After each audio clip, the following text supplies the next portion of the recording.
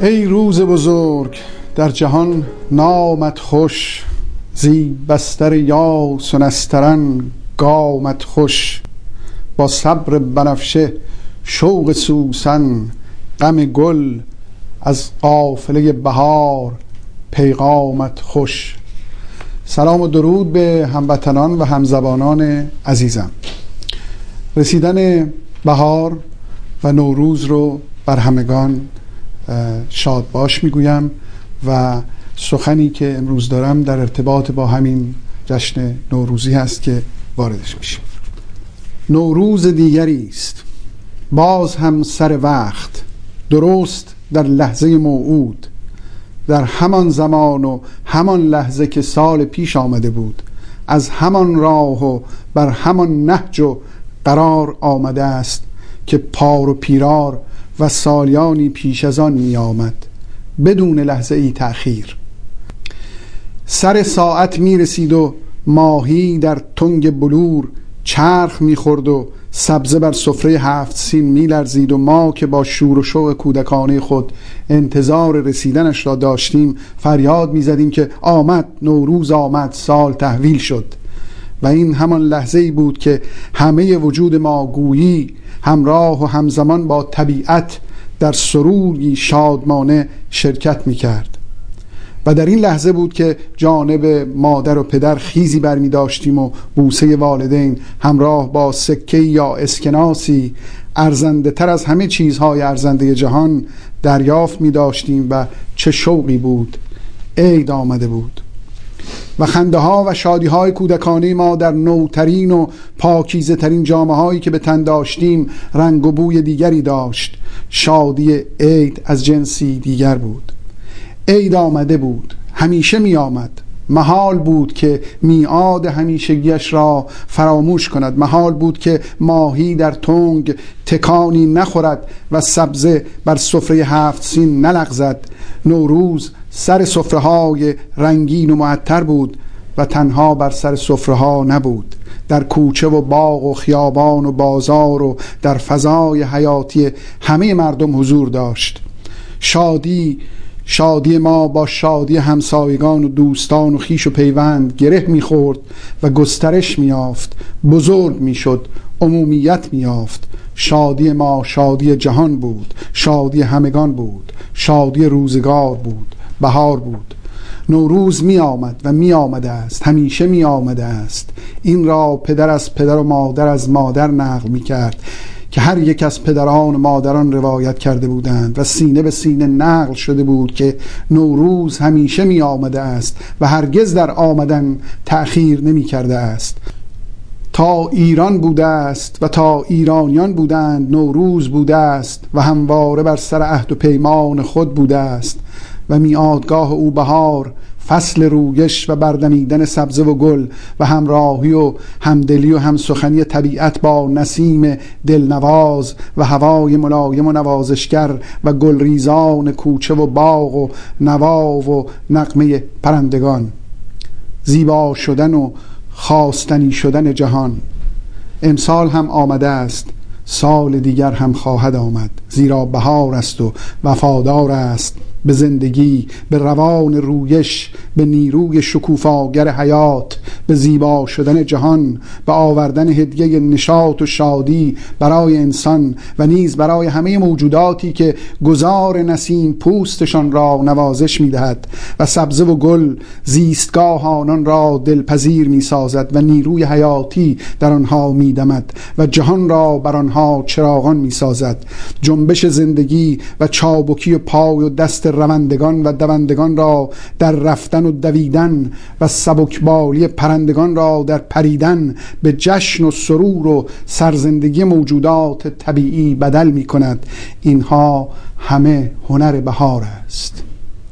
بهاری که همواره بر سر قرار و مدار خود باقی است و هیچ نیروی ناسازگار و هیچ دشمن بدکرداری هرگز نمی‌تواند راه را بر آمدن او ببندد و مانع وفای به عهد او شود. همین معنا شاعر بزرگ شیلی پابلو نرودا را به گفتن این کلام برانگیخته بود که گفته است اگر همه درختان و سبزه های جهان را بسوزانند همه گلها را پرپر کنند و همه مرغان را پر و بال بشکنند نخواهند توانست جلوی آمدن بهار را بگیرند.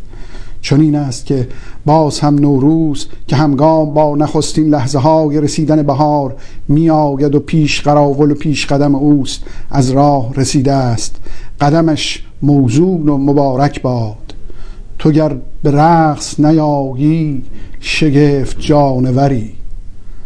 در این هوا که درخت آمده است در جبلان نوروز برای ما ایرانیان همواره آفریننده و هدیه آورنده شادمانی و پیک و امید و بستر آرزوهای نیک برای شنیدن بوی بهبود از اوضاع جهان بوده است.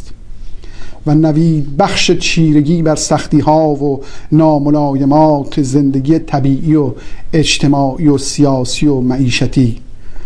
باید بر این نکته تأکید ورزید که نوروز برای ما ایرانیان در دهه های اخیر ابعاد نمادین تازه هم یافته است.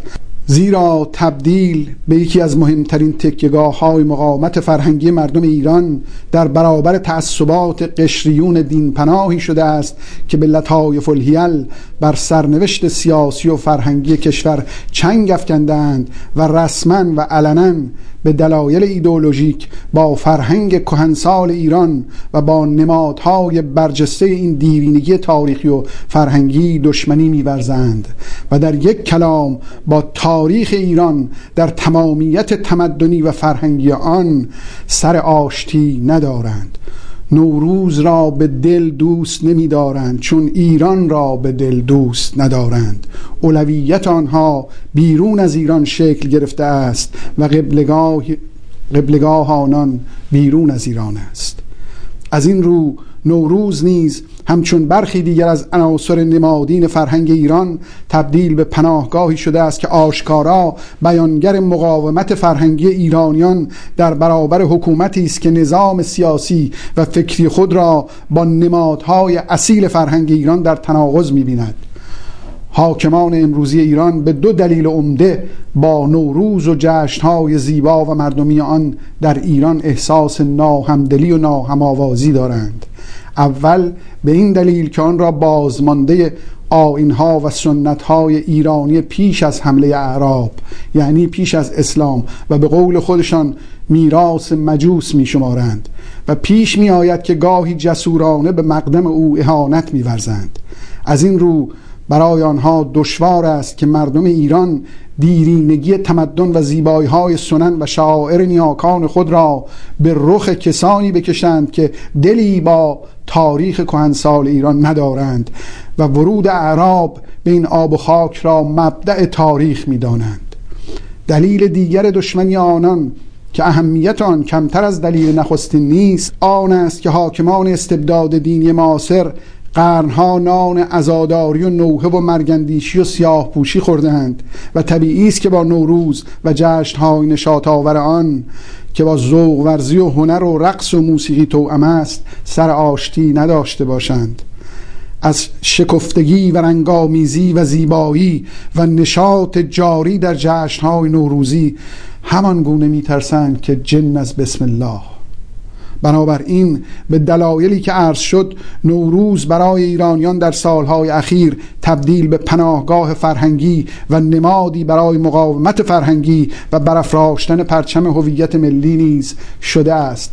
پیداست که مردم ایران که سراسر سال در فرهنگ نوحه و عزا زیر چادر سیاه تحمیلی و پیراهن سیاه به جان آمده اند و حسرت لحظه شادمانی به دلشان مانده است. قدم های نوروز را گرامی می دارند و آمدن او را قنیمت می شمارند تا یادشان بماند که ایرانیند و اهل نشاط و شادمانی و شادخاریند و به زبان خیام اعلام می کنند می خوردن و شاد بودن آیین من است. فارغ بودن ز کفر و دین دین من است. گفتم به عروس دهر کابین تو چیست؟ گفتا دل خرم تو کابین من است. نوروز فرصتی است برای شادی فرصتی برای ارج احترام به هویت تاریخی و ملی و فرصتی است که به چهره های عبوس و مرگندیش و غمگستر و ندب و پرست که به حکام مستبد بلا منازع بدل شده اند بگوییم ما نوروز را گرامی می‌داریم و به هیچ قیمتی از ارزش‌های والای فرهنگی و ملی که تار و پود و هویت ملی و فرهنگی ما در آنها بافته شده است دست بر نمی‌داریم. ما از ایران و فرهنگ ایران دست بر نمی‌داریم و فرصت زیبایی را که رسیدن بهار به ما ارمغان داشته است برای شادی از کف نمی‌دهیم. آدمی نیست که عاشق نشود فصل بهار. هر گیاهی که به نوروز نجنبد حتب است.